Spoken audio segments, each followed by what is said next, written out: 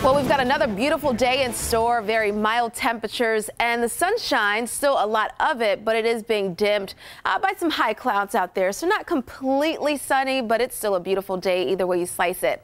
All right, let's take a live look outside overlooking downtown Norfolk over the water here. And again, you can see the sun poking out there and the clouds, believe it or not, will continue to increase into the overnight hours. But for the bulk of the daylight hours, we're still looking pretty good.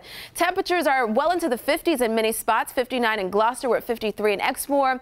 Good afternoon if you're joining us from Melfa right at 53 degrees. On the peninsula already into the 60s in Williamsburg at 63, 59 in Newport News. Downtown Newport News you're checking in right at 50 degrees. Upper 50s at the airport in Norfolk, also Craddock at 58, 60 in Longview right now. And then into northeastern North Carolina we've got a bunch of 60s on the map from Elizabeth City at 62 to Belvidere also at 62, still holding in the 50s closer to the water along the Outer Banks checking in at 54 and Duck out along the pier. Now the winds, it's a little bit breezy in some spots, but still fairly light for most of us. But the winds continue out of the south and west. That is a very warm wind for us. So temperatures are going to continue to climb above normal. We're talking 10 to even 15 degrees above where we should be for this time of the year. On satellite and radar, you can see the high clouds moving over the area, not rain producing clouds. We're going to stay nice and dry, at least for the time being. But our next cold front front is already well off to our north and west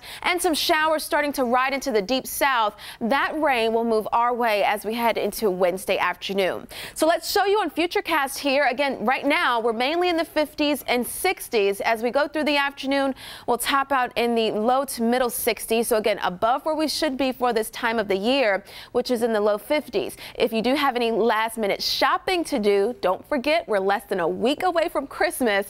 If you're going maybe around 6, 7 o'clock, o'clock will drop back into the 50s.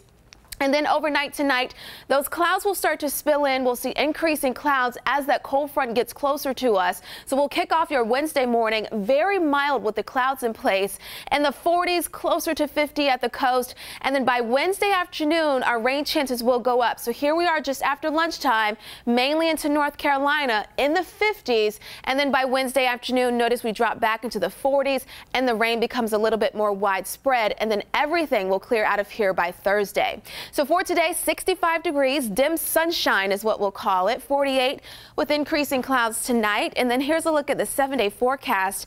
55 on Wednesday, upper 40s for the first day of winter. And then it looks like Christmas Eve and Christmas Day. You may need to keep the umbrella handy and maybe the rain boots as well. It's going to be a little bit on the wet side. Oh, man. But we still have some time to adjust the forecast if need okay. be. Hopefully. Well, Santa can always find his way. So oh, yeah. He can always put on a rain jacket or whatever. Yeah. Thanks, Iisha. Uh -huh.